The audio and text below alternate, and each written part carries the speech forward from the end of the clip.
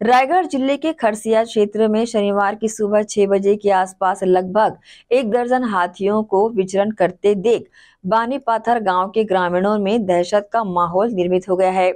दो लोग एक बाइक में सवार होकर इसी रास्ते से जा रहे थे, लेकिन हाथियों के झुंड को देखकर वे लोग घबरा गए और अपनी बाइक को मोड़कर वहाँ से भाग खड़े हुए।